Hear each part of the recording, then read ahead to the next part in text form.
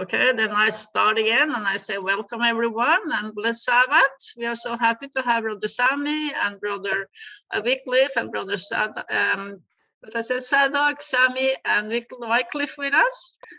Good to see you all.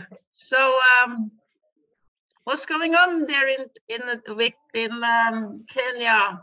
I know that you had a week with uh, 14 people living in your house, Sadok. Did you survive? Yeah, 15. yeah, we survived. We praise the Lord. we we thank the Lord that there was sufficient place uh, for the children of God to to be here. Right. We winding up today, and we praise God for that. Thank right. you. Amen. And you have some nice Norwegian colors on you.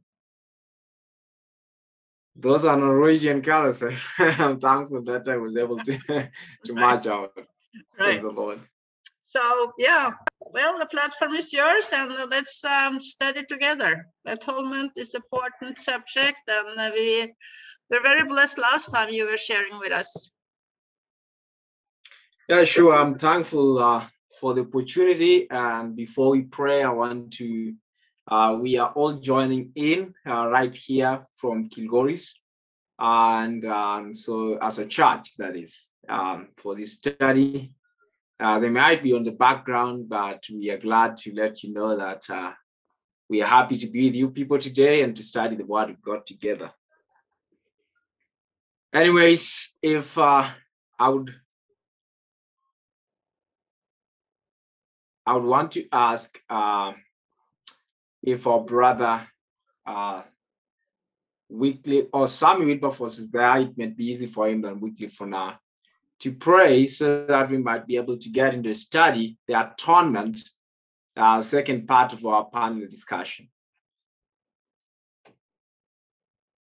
Okay, we can pray. Our loving Father in heaven, we thank you, Lord, for this opportunity that you've granted us today once again, that we may learn from your word and we may hear you speaking to us and revealing to us the secrets of, uh, of eternity. Let your blessings and your Holy Spirit be upon us as we study together. We ask through the mighty name of your dear Son, Jesus Christ. Amen. Amen. Amen. All right. Um, thank you so much. I'll be moderating today. And uh, last time we were actually going through the concept of the atonement. And I'll call forth Brother Sami to pick from where I left because uh, we were discussing the issue of uh, the latter uh, in connection with the atonement. And we were also looking at the spring and uh, autumn feasts in connection with what's going on and what preparations we need to make. Before just we go to our first question, I want Sami to recap because that's where we left the concept last time. And what we'll be looking at first uh, to get a right understanding of would be, do you think that the understanding of the atonement can be destroyed by a false understanding of the sonship of Jesus Christ, who Jesus Christ is? Can our false understanding, that's what we're going to look at. If we have a wrong understanding of Jesus, who he is, will our understanding of our atonement all different and affect our spirituality? But before we go to that, Sami, you are looking at the thought of um, the spring and the autumn feasts. Would you please recap that concept so that we pick from there? Go ahead. Uh, thank you so much, uh, Brother Zaddoch, and uh, I'm glad to join in and uh, we share in the Word of God. And um, uh, if I can remember where we left uh, the last time is how this concept of atonement and is connected to the latter rain. And we were going through the feasts of the sanctuary and um, how the Lord made them to be and how they are to uh, really tell us where we are in stream of time and what is expected of us. When you look at the atonement, and um, what used to happen, we have the atonement in the courtyard, which I know that uh, uh, we shall be looking at it. and then we have the atonement in the holy place, and then the atonement in the most holy place. And all these are connected with the feast of the sanctuary. But I, I was looking at this issue of atonement in the spring and atonement in the autumn, or, or um, what we call in the summer. Uh, and connecting it with the, the rain. When you look at the rain in the spring and what it has to achieve, it is not the same thing with what the rain in the autumn or summer or during the time of harvest uh, really achieves. You find that um, uh, the rain in the spring is to help uh, the farmer to uh, break the ground and uh, be able to provide a ground where you can put the seed and it sprouts. And um, uh, that is in the spring feast when you look at um, uh, uh, uh the spring feast in the Passover, uh, in the first fruit, and uh, in the unleavened bread where actually this the the the the, the first feast covered uh, the atonement in the in the courtyard so that uh, uh, people may be prepared to enter into the holy place after accepting Jesus Christ as uh, uh, the the lamb that takes away the sins of the world at Calvary. But uh, now, Brother Zaddoch, when you come to the uh, the the uh, the, the autumn feast, uh, the feast in the summer where we have the feast of the trumpet, uh, welcoming in or ushering in the Day of Atonement. It is accompanied with uh, the, the latter rain. And uh, the latter rain, as we understand, it is um, to make uh, the harvest mature, to make it be able to withstand uh, the, the final stages of uh, the crop and to be able to withstand the pest and all that. It means that um, the crop has been coming until this period of time when now it has to be removed from the garden and be put in the store and be used. And so we see that uh, this aligns, uh, the, the, the, autumn feast uh, aligns with the, the Day of the Atonement and the Feast of the Tabernacles. In the Day of Atonement, what actually happens is um, the cleansing of the sanctuary, something that we are dealing with, the atonement in the most holy place, where actually an special outpouring of the latter rain is given to the people not to begin the work, but to end the work, to make them be prepared for the Feast of the Tabernacles, which is the harvest, uh, which is the second coming of Jesus Christ, so that uh, they may be able to dwell with uh, a holy God without a mediator. And so uh, when you look at the atonements in different uh, uh, parts of the sanctuary, you find that it produces a different experience in those stages. Thank you so much. thank you.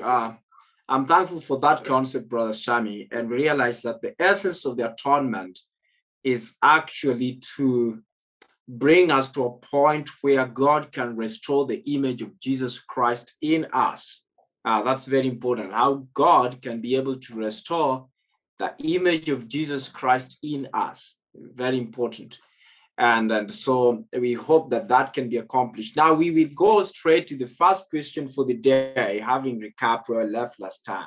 Well does a false understanding of the atonement interfere or rather the false understanding of who jesus christ is interfere with uh, our understanding of the atonement? If we have a wrong jesus can we have a, wrong, a right atonement? That's what you're looking at Brother Wycliffe, and uh, then I would open the floor for any other person with a concept. Brother Shami, you can take it over. Uh, Wycliffe, what do you think about that? When you're talking about uh, the sonship of Jesus Christ, is it important to understand atonement? Well, thank you for for that. Uh, I think uh, it is very much important to understand the sonship of Jesus Christ in relation to the atonement. Uh, because uh, we know first that uh, when sin came into the world, uh, the first time that our first parents, Adam and Eve, uh, sinned, uh, we realized that there had to be a perfect sacrifice to be offered in order for sin to be to be eliminated in the world. And throughout the spirit of prophecy, we find that uh, when sin came, the angels offered themselves to come and die for man. But uh, that sacrifice was not enough to make sure that sin is done away with. And so we see that the only sacrifice that could uh, could atone for sin is a not a human sacrifice, but a divine sacrifice. And so we see Christ coming as a son of God in and taking the human flesh. Uh, we find humanity and divinity was combined, and Christ living our lives, atoning for our sins. Uh, uh, when those two uh, natures combine into one man, Jesus Christ, that was the only sacrifice that could atone for our sins. So if we believe that the sacrifice that could only atone for our sin was Christ in his human flesh alone, no. The only sacrifice that could perfectly atone for the sin of man was humanity and divinity and humanity combined together in that one man called Jesus Christ. And so when Christ dies at the cross, he dies as a son of God, divine son of God. Well, so if if we say that um, the sonship of Jesus Christ is not important for our for the atonement to be perfect, then we we, we get it wrong. We will uh, we will not actually have a perfect sacrifice before God uh, that can that God Himself can uh, can accept. So I think it is important to believe that only a divine sacrifice will atone for our sins, and Jesus Himself coming down as a, a Son of God and in human flesh, He was able to accomplish that. Thank you for that. Thank you, Brother Wycliffe, for that concept. Uh, what do you think, Brother Sami? Uh, You are muted. Thank you so much, uh, Brother Zaddoch, for the question. You, you know, this morning I was uh, thinking about uh, the issue that uh, you have raised in question one, and uh, I- I'd like to refer us to Exodus chapter 12. We can turn there. I wish that uh, maybe Brother Teje can uh, make us co-host so that we can share the scriptures on the screen, or uh, we, we we shall just read them. But how if he could have made us co-host, it will be better. The book of Exodus, chapter 12, I want us to turn there as he makes us co hosts. Uh, thank you so much. Uh, I'll go straight to sharing my screen. Look at Exodus chapter 12. Uh, is the issue of uh, understanding the sonship of Jesus Christ uh, important in the issue of uh, atonement? Verse 1 says, And the Lord spake unto Moses and Aaron in the land of Egypt, saying, This month shall be unto your beginning of months. It shall be the first month of the year to you. Speak ye unto all the congregation of Israel, saying, In the tenth day of the month they shall take to them every lamb, uh, a lamb according to the house of their fathers, a lamb for an house. So they are taking the lamb on the tenth day. And what are they doing? If and if the household be a little for the lamb, let him and his neighbor next unto his house take it according to the number of the souls. Every man according to his um, his eating shall make you account for the lamb. Then comes the statement: Your lamb shall be without blemish, a male of the first year. You shall take it out from the sheep or from the goats, and you shall keep it until the 14th day of the same month, and the whole assembly of the congregation of Israel shall kill it in the evening. So you find that a lamb is taken from the sheep and or from the goats and it's kept for four days that is from the 10th day of the month to the 14th day of the month which means that um, this lamb that was going to be offered for the sacrifice was a particular lamb you didn't have just to go and pick any lamb from the sheep or goats but it had to be separated for four days what i mean what do i mean by that and how does it uh, make a difference about uh, uh, the, the sonship of Jesus Christ. If we can understand that he is the begotten of God, separated from the sheep or the goats and taken to be examined so that he may pass uh, uh, uh, the test of being the perfect sacrifice. If we don't understand his sonship well, then it affects atonement for it means that uh, anyone can be picked on the road and is offered for atonement, and then the atonement, the father can be satisfied. But as Brother Wycliffe has said that uh, it is important to understand who Jesus Christ is and his sonship, because uh, the famous verse that we read about in John 17 3 that um, this is eternal life. And uh, but uh, um, this eternal life that they may know thee, the only true God, and Jesus Christ, whom you have sent. And so in him, actually, we find our redemption. We cannot find redemption in somebody who is less than the law that was broken. It needed somebody who is above or and equal to the law. So if we get the sonship of Jesus Christ wrong, then we get the atonement wrong. We get um, that uh, we will not understand the lamb that uh, was to be taken to the Calvary. And when we have the wrong lamb, brothers and sisters, then we have a wrong atonement. Thank you. Thank you very much. And um, I just wanted to add a few points before I open up for any question or any thought from uh, the other brethren. But when Mark begins to write, Mark begins to write by saying the beginning of the gospel of Jesus Christ, the Son of God. You see, John says that for God so loved the world that he gave his only begotten Son. That's truth. That's not metaphorical, that's not dramatical. God gave a begotten Son that whosoever believeth in him should not perish but have everlasting life. And as you have been able to state, God did give a true sacrifice. For we stated last time that without the remission, without the shedding of blood, there can be no remission for sin.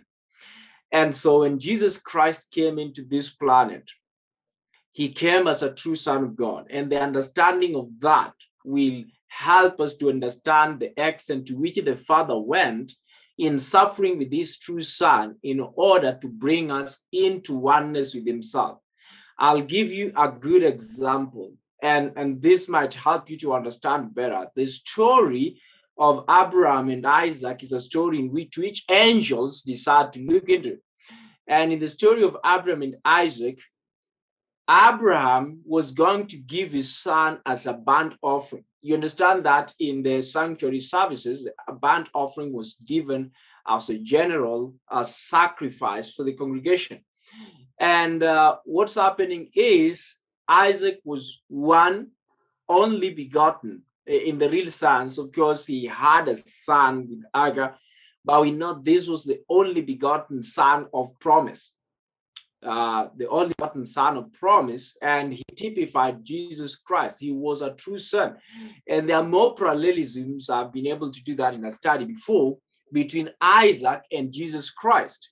The pain that actually Abraham went through, the same pain that uh, uh, represents the pain that uh, God went through when his son was suffering on the cross. Now, if Isaac wasn't a true son, the right understanding of the relationship between Isaac and Abraham is very important in understanding the nature of sacrifice that Abraham gave. And so it is with the father. The sacrifice cannot be a sacrifice if the son is perhaps metaphorical. It is not a sacrifice if the son is metaphorical. So if we have a false understanding and concept about who Jesus Christ is, we must have a false understanding of what manner of sacrifice it is and how deeply the Father suffers or suffered when his son went to the cross. If you look at Hebrews chapter 1, the Bible refers to Jesus Christ as being created or being higher than the angels. Jesus Christ not being created, rather, sorry for that, being uh, higher than the angels. Now, Jesus Christ, being begotten of the Father, was above the angels because he created the angels. Sorry for the word I used.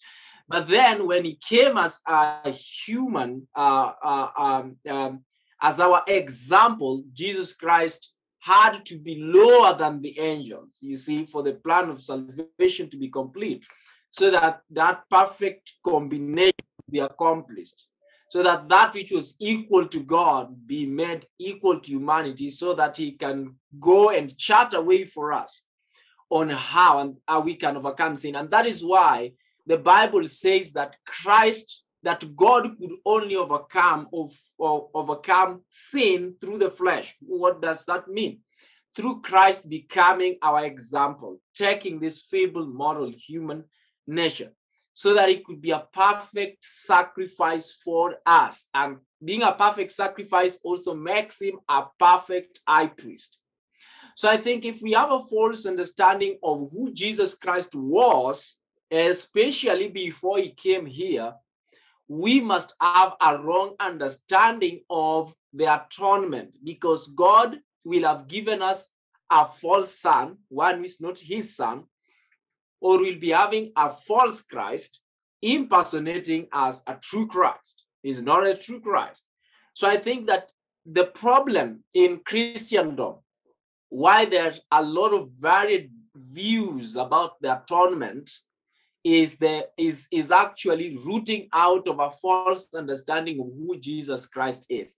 In fact, most of us do not understand that Christ is the literal Son of God.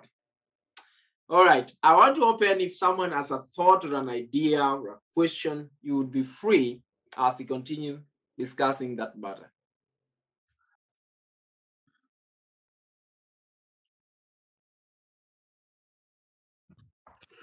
I want just to share a, a short comment um, because I know it, just the fact that we are discussing this matter is uh, is in a way very uh, very interesting or sad because there is no clearer truth told in the Bible than Jesus Christ being the Son of the Living God, and it is it is it is amazing how the devil could could could wreck this truth in the minds of so many people and sincerely believe us also. I mean there is no way to substantiate any other truth than jesus christ being the son. For god so loved the world that is the verse everybody cites. Every christian knows this verse by heart that he gave his only begotten son. How can this be twisted into jesus not being the son of god? This is a, a mysterium to me. And it, it is a it is a it is a spiritual uh, battle of course. So there is a lot of Uh, things involved but this is just so terrible in a way that such a simple truth can be so so lost in the world that's just my comment on that one Yeah, we know that the doctrine of the Trinity has destroyed the concept of the atonement because we are having one who is co-equal with the Father, and we know that God is immortal. So when God is immortal, because that's what Paul Paul writes to the young Timothy as a young evangelist, he had to understand that only God was immortal. So we are having Jesus Christ who could uh, who was equally immortal. So I think um, in heaven. So um, uh, uh, uh, I mean, uh, immortality is a gift of the Father that He gives to His Son, and He will give to all of us if we believe, uh, if we surrender our lives to Jesus Christ. But then now Jesus Christ comes here as the Son of God, and being the Son of God, He could be able to die. So your understanding of um, the uh, sonship of Jesus Christ is very important to help us understand, uh, rather, uh, the atonement. Uh, Brother uh, Van, before we go to Brother Sami, if you'll allow us, Brother Sami, we would allow Brother Van to take it over. I can see your hand raised, Brother Van. There's there's a number of things here that have to happen first in the, in this understanding of atonement. We have to understand that first, um, for him to be a redeemer, he must have first held possession and only the son of the original possessor can redeem. Um, and in understanding this concept, the bride is redeemed. So the bride was once his. Therefore, no one else could redeem her. Um, this this is the principle we first have to look at. And and that having been said, then we look at the points that you're bringing up, because for atonement, at one to be restored, it has to be recognized that it once was.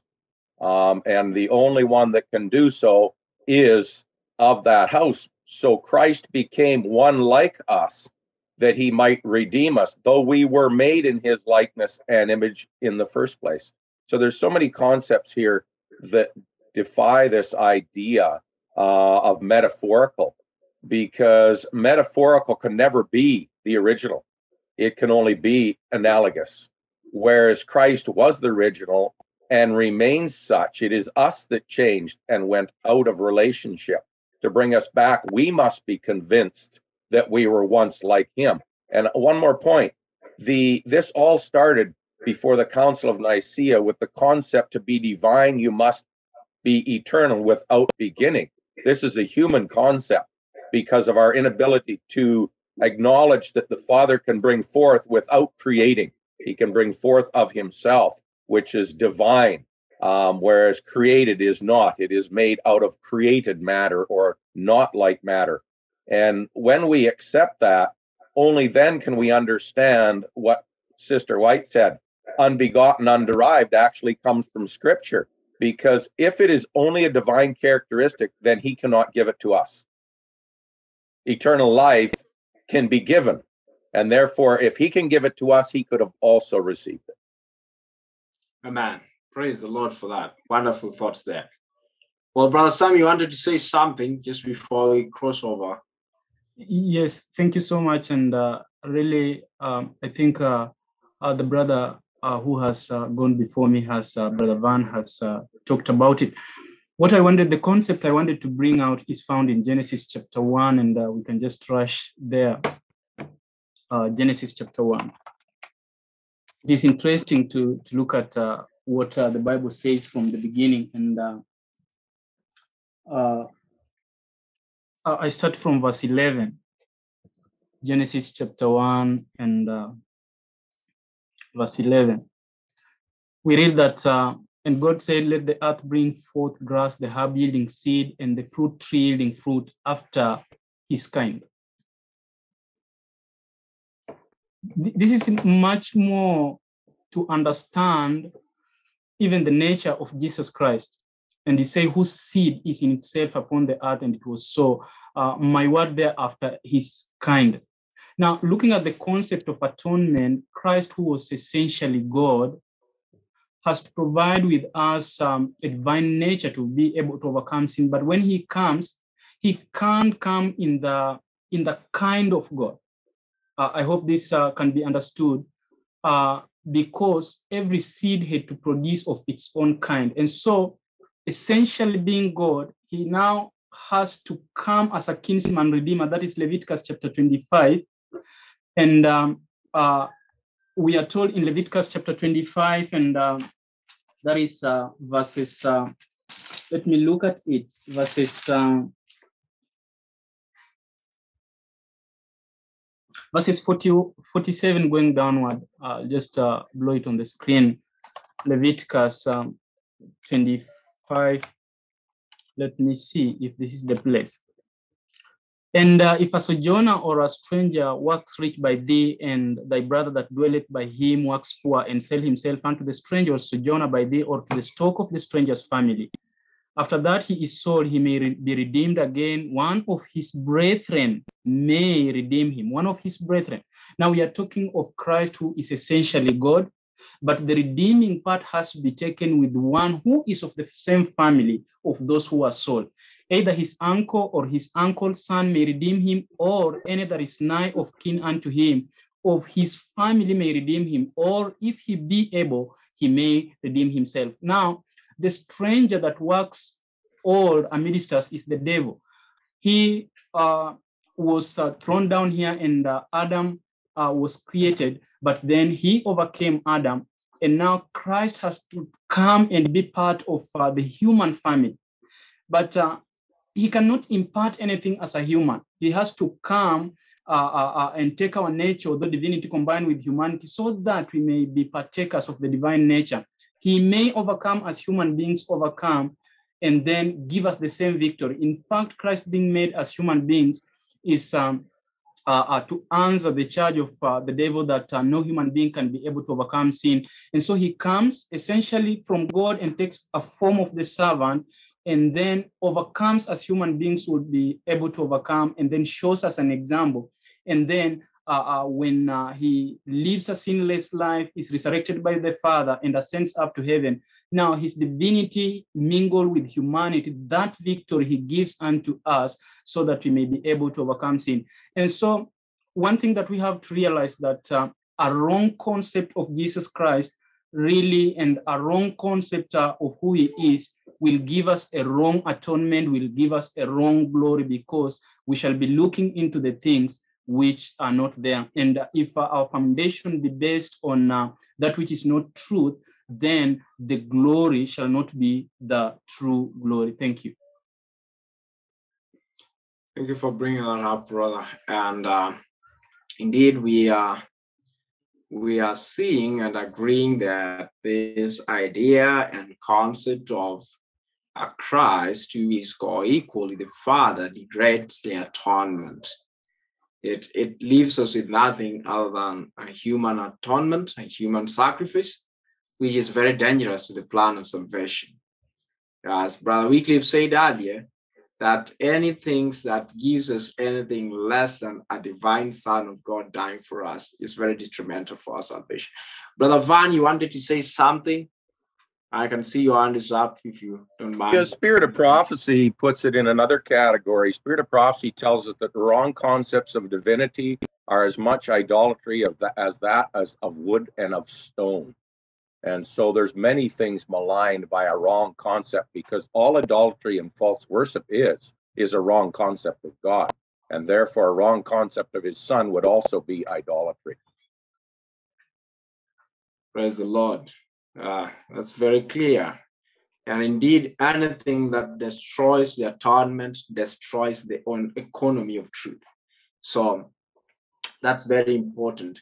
Well, we want to think about something else as we just developed. So Jesus Christ comes down here and he takes our nature, the nature of Adam after the fall, and he goes to the cross and he dies. We know that Christianity looks at this death and Christianity think, hey, this death is the whole atonement.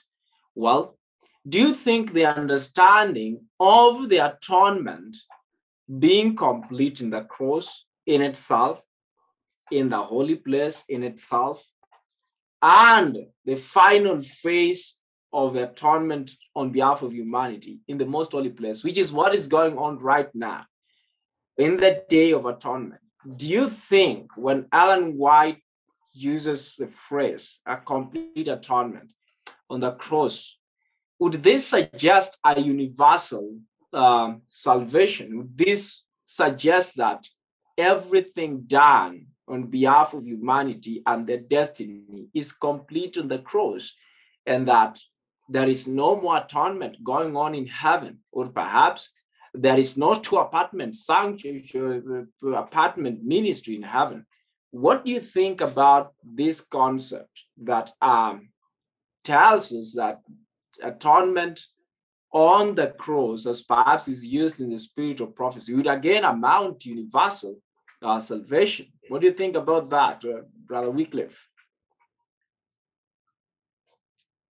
Does that atonement amount to universal salvation? Um, I can answer. I can answer. I can answer. I can answer. Sorry. Okay, can you hear Zodo? Can you hear me, brother Zodo? I can hear you, but there is an echo uh, from your end. Okay, you get it too. We can All hear right. you. Um, I can say that uh, we can say that the the sacrifice that Christ did at the cross uh, covered all sins of men, and uh, and that atonement uh, covered. Uh, there are those who are ignorantly breaking the law of God. They have not come to the truth. And so, uh, still, that atonement covers for them, but it doesn't mount to universal uh, uh, salvation, where we can say that now Jesus died for us. We can, all of us, it doesn't matter what we do, we are safe, always safe, or once safe, always safe. No. The Bible says in John chapter 3, verse 16 that for God so loved the world that he gave his only begotten Son, that whosoever, the word underlined there is whosoever. So Christ died for humanity. But that does not mean that now everyone will go to heaven. No, only those who believe in the Son or in Jesus Christ as our sin pardoning Savior will inherit in, uh, eternal life or will be saved. So I don't say that it amounts to universal salvation that all now can go to heaven. No, it it remains with us, every individual, to make a decision personally to follow or to accept the benefits of the atonement of Jesus Christ at Calvary. Yes. Thank you, Brother Wycliffe, for that thought. Uh, Brother Sami, what do you think? Then I could give Eva, she wants to ask a question. Thank you. Comment. Oh yeah, um, I was thinking about in heaven before you know when the fall uh, happened. Then uh, um, the, the Satan said to the angels, "Oh, it's impossible for mankind to keep the law of God." So uh, God had to show on the cross. Jesus took uh, our penalty, but he also had to show somehow the angels that God is able to give us victory, that we can, can live in accordance to, to the to the will of God. Amen. Praise the Lord. Thank you for that, Sister Eva. God bless you. Brother John, uh, your hand is up. I want to give you this moment to you You are muted anyways. I'll just have a short uh, a short comment to uh, to the question also before that this uh, atonement was was perfect or was was fully made on the cross and uh, uh, it is this uh, this beautiful uh, uh, quote uh, from which I just I just share in the chat and then I read it because it's uh, it's it's quite uh, comprehensive as to what we are talking about here.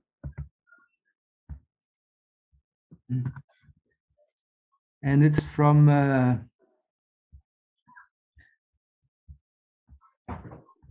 it says, Do you realize your sinfulness? Do you despise sin? Then remember that the righteousness of Christ is yours if you will grasp it. Can you not see what a strong foundation is placed beneath your feet when you accept Christ? God has accepted the offering of his Son as a complete atonement for the sins of the world. So that is that is also where, where she uses a complete atonement for the sins of the world. But then it continues true faith which relies wholly upon Christ, will be manifested by obedience to all the requirements of God. In all ages, there have been those who claimed a right to the favor of God, even while they were disregarding some of his commands. But the scriptures declare that by works is faith made perfect, and that without the works of obedience, faith is dead. So that I Praise believe is, is, a, is a beautiful uh, uh, connection to, to faith and works again, you know. Praise the Lord for that. That's that's, that's a beautiful connection indeed, and we're thankful for that, Brother John. Um, Brother Samuel, you want to say something?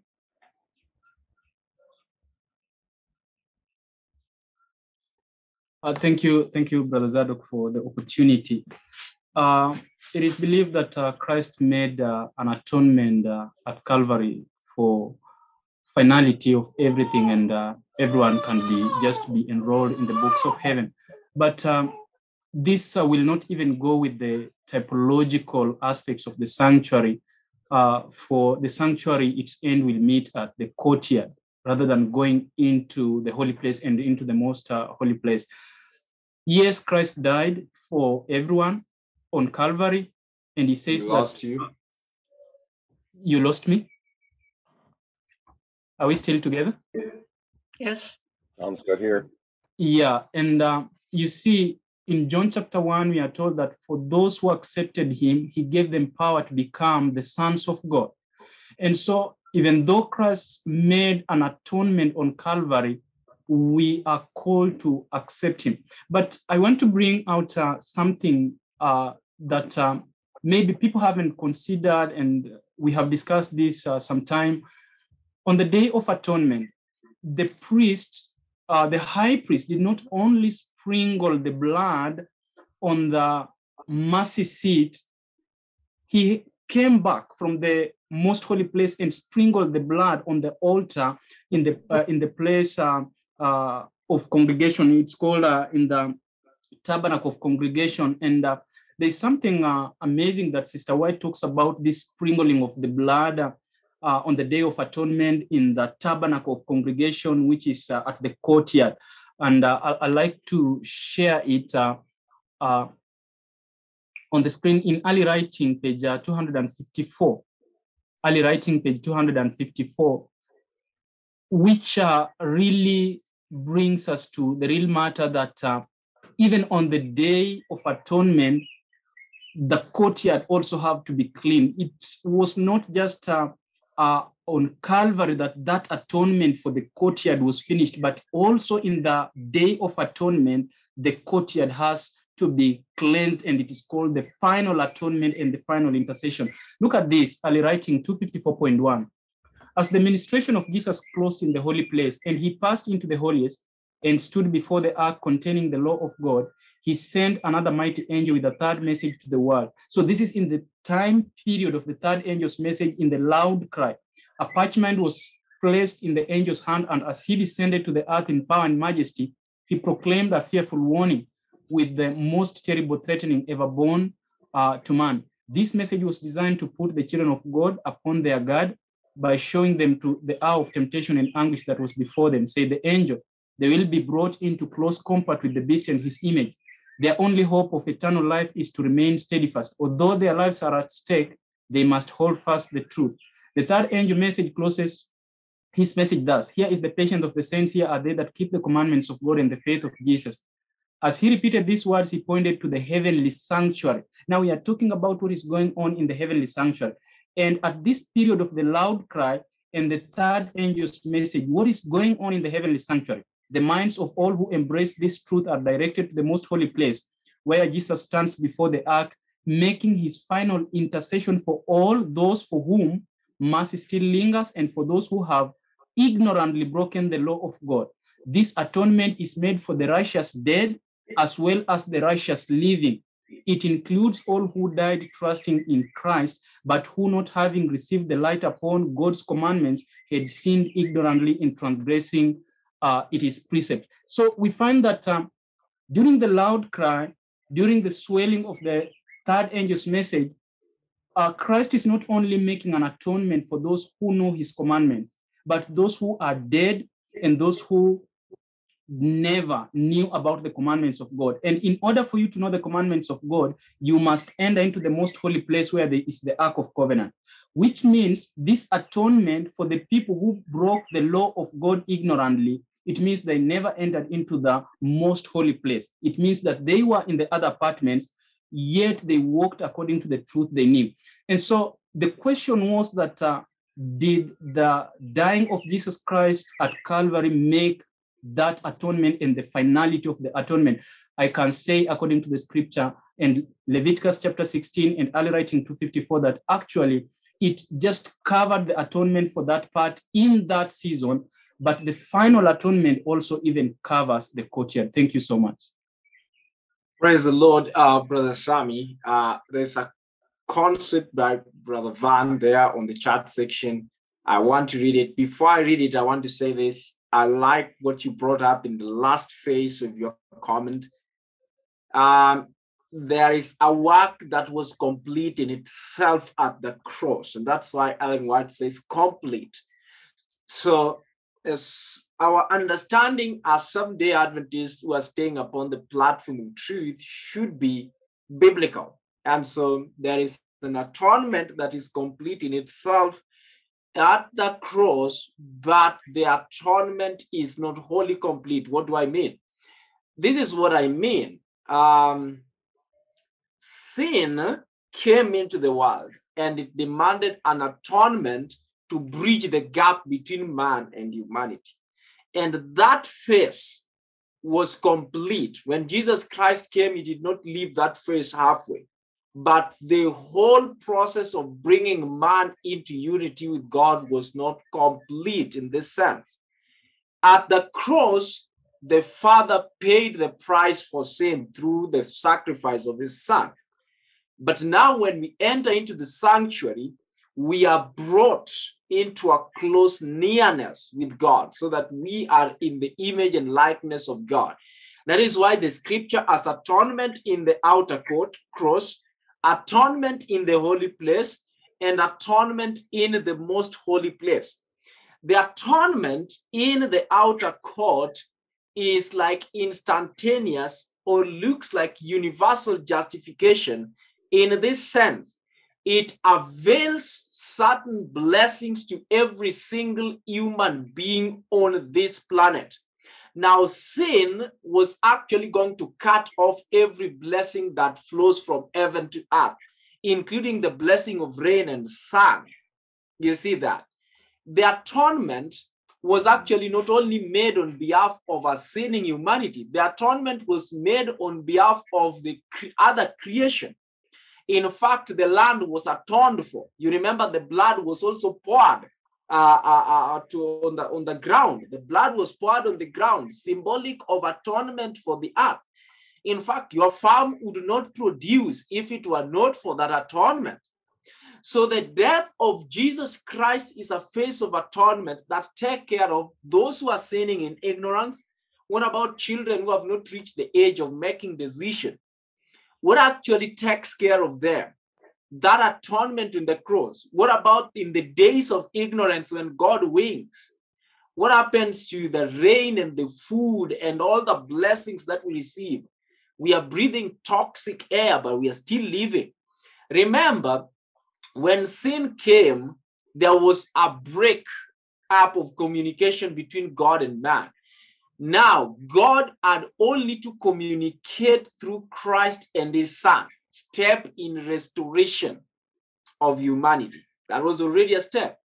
Through Christ and angels, God communicated to humanity. Listen to what Ellen White says in The Desire of Ages, if you don't mind.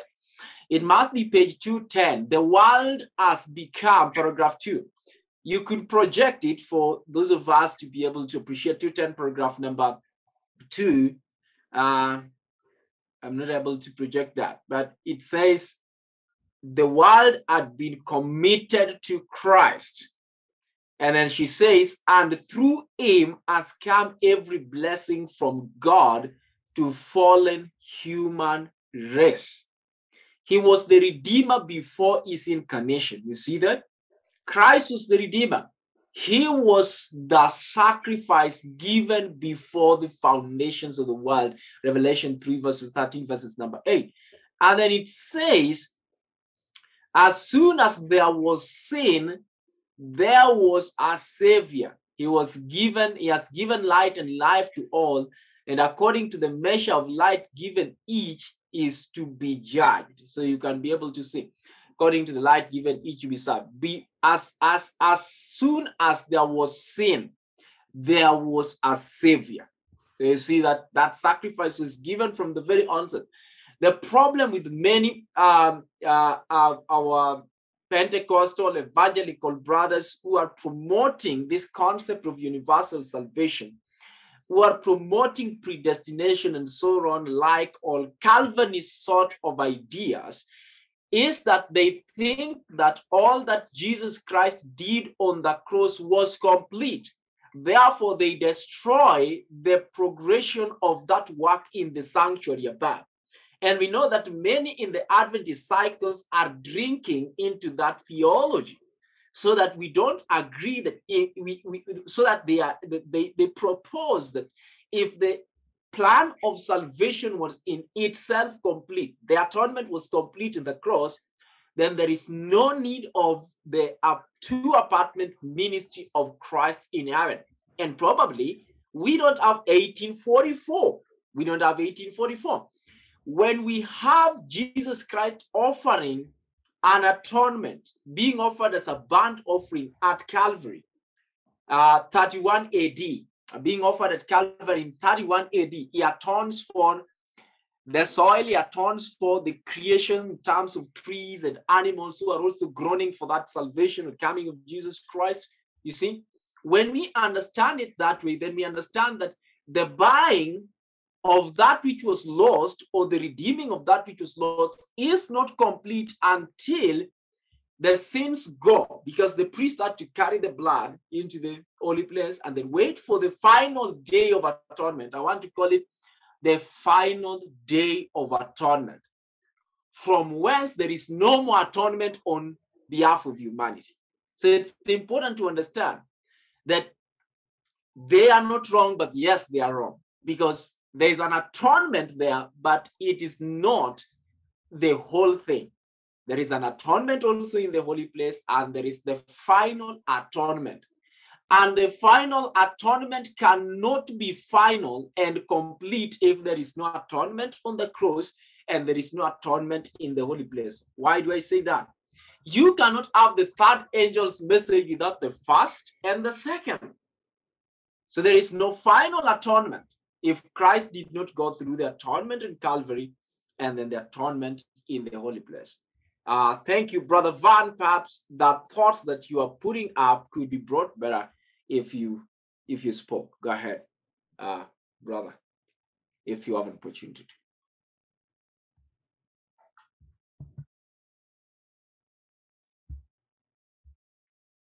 Uh, uh, Brother I see in all of this, I see in all of this that we we need our eyes to be on who the presenter of this is. Th- This is the Father Himself that puts forward all this effort through Christ.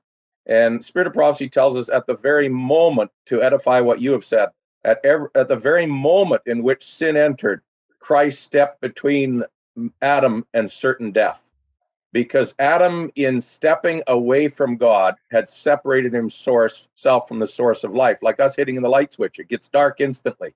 Uh, without the presence of Christ's glory, we are in darkness, the symbolism there. And to me, when I saw this, it took it way beyond Christ himself being willing to come and took it to the Father having, in his wisdom, brought forth Christ before all of this began. That if this happened, there was no delay. I saw this same grace that wh- when uh, sin transpired, as Christ was put forward as a solution already prepared, we saw the same thing. We're told when Satan and his hosts were cast out, that the Father turned immediately to his Son and said, us, Let us make man now. So in this, we see the immensity of God's grace is that perchance there be a problem, he already has a way. He is not willing that even Satan and his fallen hosts should suffer for an unduly length of time because he cast them down to this earth, to utter darkness. That it was void and empty and without form. And here was the lot now of Satan and the fallen host, same as we see in Jeremiah, it will be in the latter end. Yet the Father himself was not willing that Satan should suffer beyond what was necessary to understand what was going forth. And, and to me, this is this is far more. If, if we had this same character, we would have the desire for the lost that Christ and the Father have for us. They're not willing that for any any, any longer than necessary that anyone should suffer. What what a, a grand understanding of the purpose of the law. You know, all as I put in the earlier post, nothing that has been given to us is unnecessary, and yet we have nothing apart from the gift. The very desire to be saved is provided. The very path to be saved is provided. Everything is provided that is necessary, and yet without us making that choice, which denies universalism, we have that free choice to choose to receive it or not to receive it, which is back to the garden. Adam had the choice whether to retain it or to give it away. And uh, this, this to me really adds to it. It's not just that it was necessary; it's necessary for the first law of heaven, free choice, to be sustained. That you and I have something from which to choose, and then to have made that choice.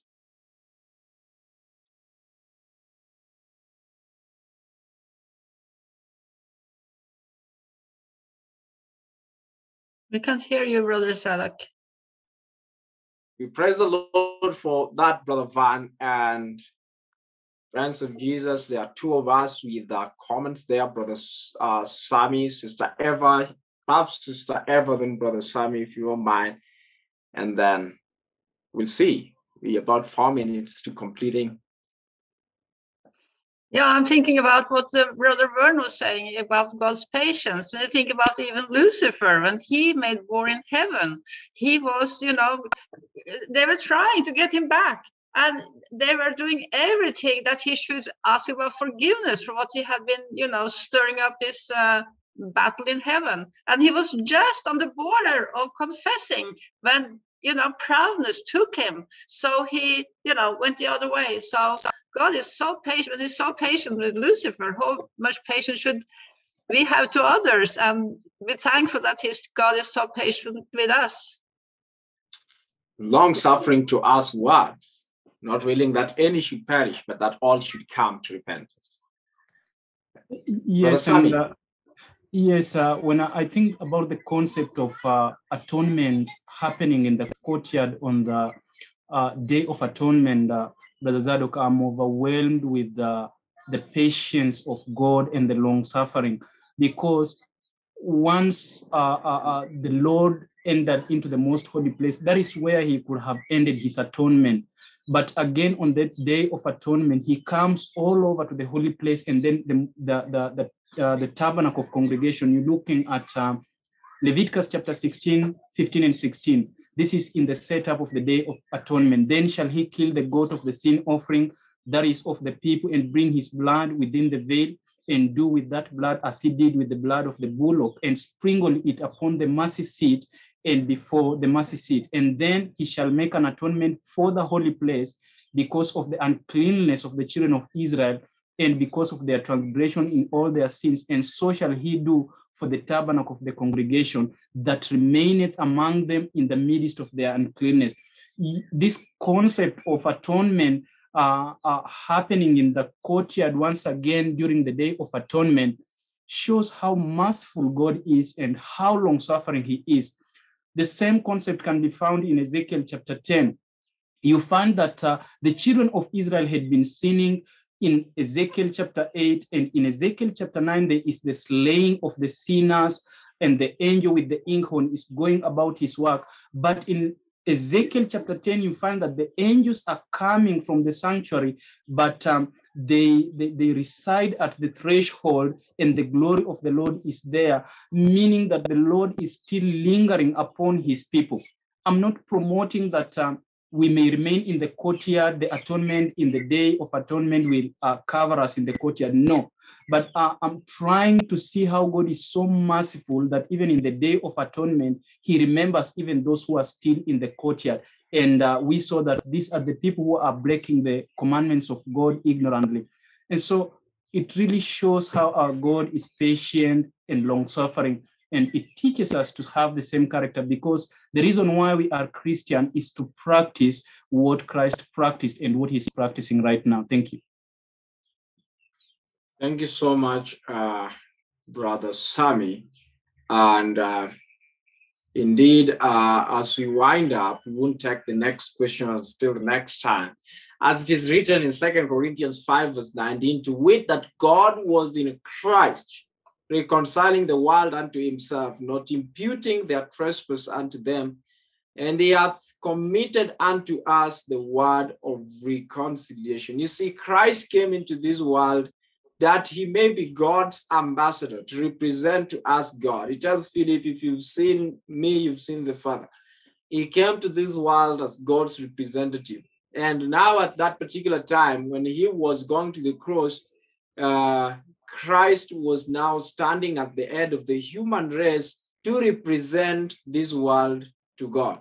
And um, it's very important for us to see that um, in the plan of salvation, what goes on in the outer court, or what goes on in the cross, is very vital for what goes on in the sanctuary apartments to be complete and to be uh, efficacious. In fact, if we have um, a wrong foundation at the outer court, we cannot have a right holy place experience and the right most holy place experience. I think, um, allow me to say, and perhaps you might not agree with me, and I respect that. I think sometimes we have overemphasized on the most holy place experience and neglected the outer court experience. And that's why many of the Seventh day Adventists do not have a real most holy place experience. We can only have a real most holy place experience if we understand what was going on in the outer court or at the cross. And at the cross is where we lay everything, every self. It is, uh, it is what Paul says I beseech you, therefore, brethren, by the mercies of God, that you offer your bodies a living sacrifice, holy and acceptable unto God. This is your reasonable service. And so it's at the outer court where Jesus Christ is born. That is where he dies. And we know that the Bible says that if a seed does not die, in other words, if a seed is not buried, it abideth alone. What does it mean it abideth alone? It does not produce two or three or 10 seeds. For you to get five or 10 seeds from one seed of maize, the only miracle that can be done is to plant that seed. And so Christ, the selfless service of Christ that leads him to the death on the cross, the experience in the outer court, where he says, For you to follow me, you must begin by self denial and cross bearing, the outer court experience and being buried to die into self. That is what it means to give birth to many sons. And so Christ could only represent the world as sons and daughters of God if himself died to everything that this world offers the pride, the selfishness, the covetousness, and everything. And that happens in the outer court. So, in the outer court, Christ represents to us what we must be in order to grow as Christians. And that growth experience is very important. So I think when you talk about the atonement in the outer court, we are not talking about complete completion of the plan of redemption, but we are talking about a stage which must be complete in itself for the other stages to begin in the first place. So if that experience is not complete, then we cannot have a full experience in the holy and in the most holy place.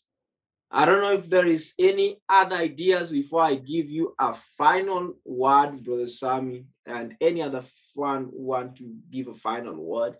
I want us to keep time. The next two set of questions are related, so we can get another time to look at it. Um, if you have a final thought, uh, it's open. Brother Wycliffe, praise the Lord. Go ahead.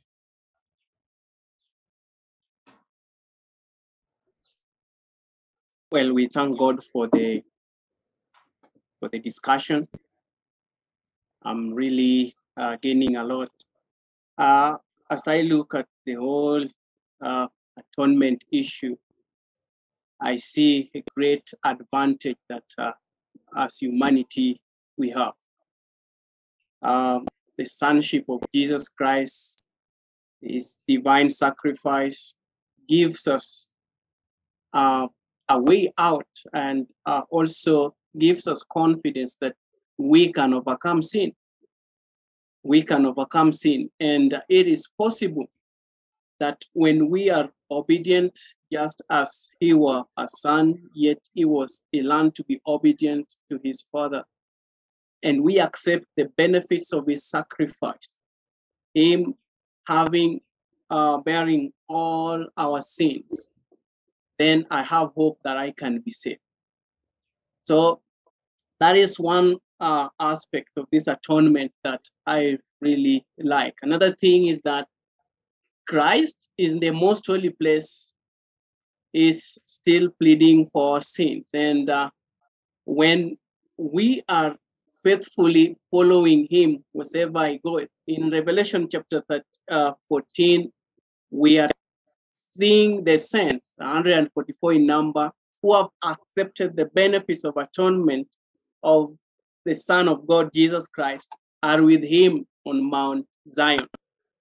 And therefore, the final demonstration of a people who are going to vindicate the character of God is very possible. It's very possible. And so, what we need to do is that to accept Christ in totality and what he offered for us.